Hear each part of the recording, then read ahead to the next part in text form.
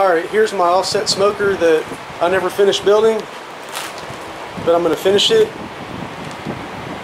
And today I'm going to be finishing up the, this, this door. The way I've been doing this so far is uh, taking eighth inch sheet metal and just cutting out a shape for the hinge and just weld it on. And using stainless bolts, just drill a 3 8 hole and put it in there.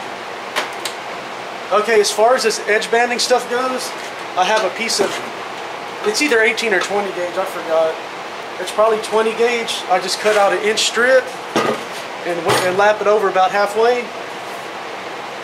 I also skipped about an inch, like, you know, weld an inch, skip an inch, you know, like off, you know, to keep the door from warping. Because if you weld a straight bead on it, it'll probably flatten it out a little bit.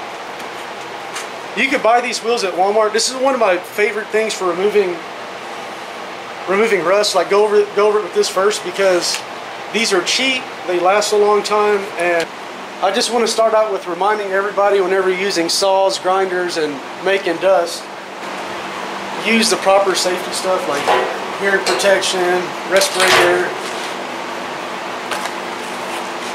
gloves, and a face shield.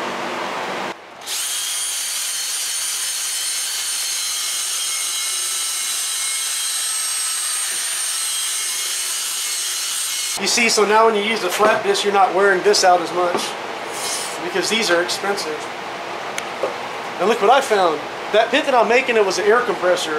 I, I don't know how many gallons it was. It's, it's like about 16 inches wide to 30 inches long. And this is one of the handles, and I'm going to use that for my handle right here. Look how nice that fits. So I'm going to go ahead and clean up all my materials off camera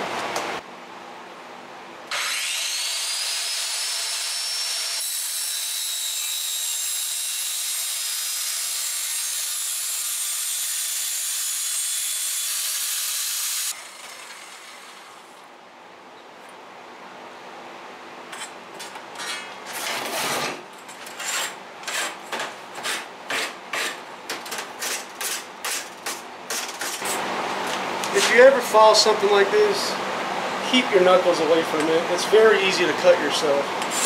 That's why I have a nice long fall. I need a guard on it. That's what I really need.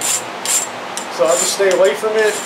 That's why you see me, it probably looks dumb but I'm just sliding it straight, but that's to keep my knuckles away from doing that. I did kind of make a little bit of a mistake. I put the wheels all the way to the edge not thinking that about this part. And then I made this an inch instead of inch and an eighth. But that'll be fine as well. That'll be perfectly fine. 18 and 3 notches past a half inch. 18 and 11 sixteenths. I really feel dumb now because I measured this and I was supposed to have enough for both sides, but I actually don't.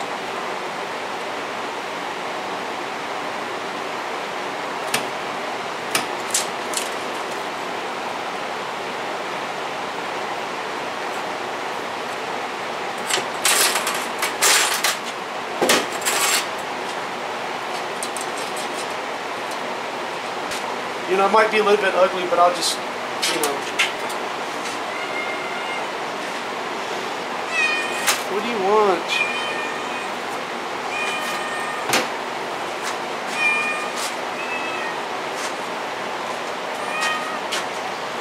Pedro's being ignored.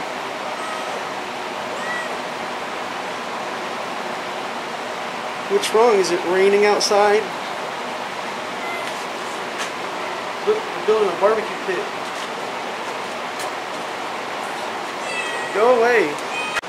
Alright, I got everything all clamped together in a position where I could weld kind of comfortably, I guess. Clean, I cleaned it all up. And I'm just going to start tacking it. Alright, let's check my progress. I welded a few little short beads on the bottom just to kind of make sure it doesn't move.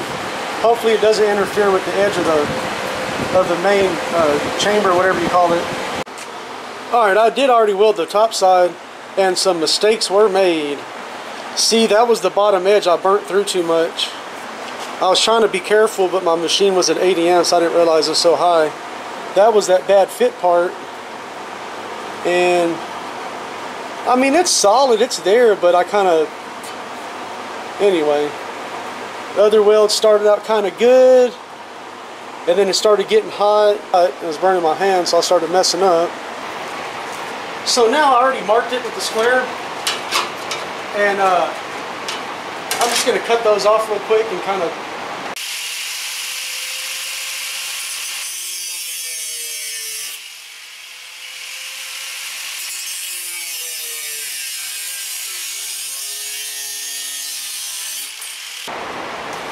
So it looks like the bottom edge is done. And it's ugly and uneven. I almost forgot about my handle. So I went ahead and cleaned it. It's still dirty, but it'll be alright. That's my center line. I'm just going to eyeball it. Put it about like right here.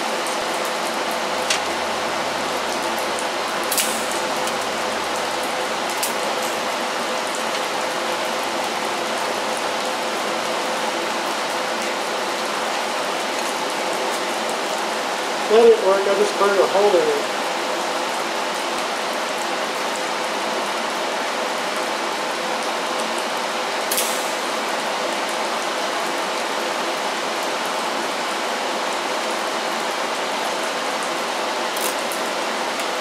Well, I started to burn another hole in it.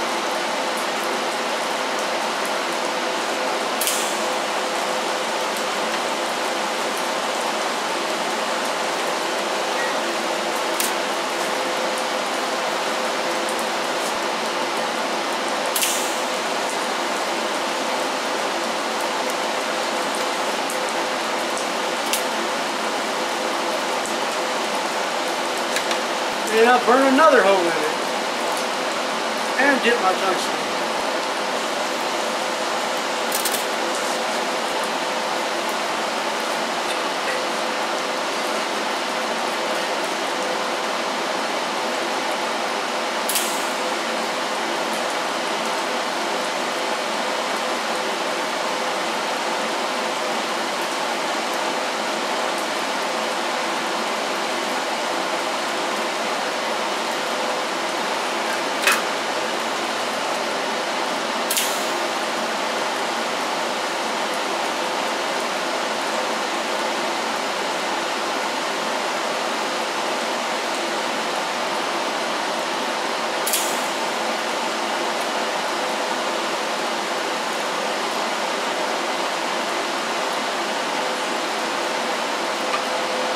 This big cup is making it hard for me to get up in there.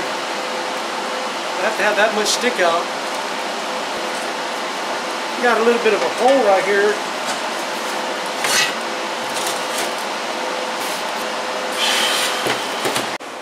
Alright, I got it all welded up. It looks kind of crappy.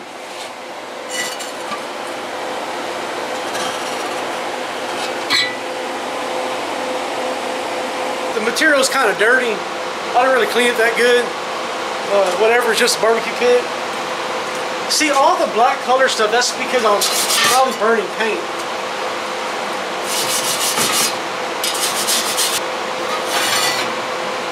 I don't think that's going to come off. I'll be alright. Well, there it is. Uh, I think the, the bolts kind of holding up a little bit. Like I need to mess with that. That's how it's going to look. Handle. Yeah, the handle's actually crooked. You can tell, but I don't really care. Like, that's that's fine. I know I said I was going to do the, the door on the firebox, but I'm not going to get to that today. I'm going to go ahead and finish this up off camera. Basically the same thing I did, but you know, do the top and do the rest of the other side of the handle. But you know, uh, for people that are just barely, you know, thinking about building one, just go ahead and do it. Don't be scared. It's going to work. You know, if it leaks a little bit, it's still going to cook. Like if your smokestack is too small and it doesn't let enough airflow, then just cut it off and make a bigger one. Or add an extra one. Who cares? It doesn't really matter. It's going to work. And these these grills that I've, I made, I've only made three so far. And all of them out of air tanks. And they work pretty good. They're about 90 thousandths thick. So they're not super heavy. You know, this thing probably weighs, I don't know, it probably weighs 150 pounds or something, but you could definitely move it by yourself pretty easy. If you want to see more videos on this, just subscribe and, and uh, I'll be posting more videos on it soon whenever I feel like it.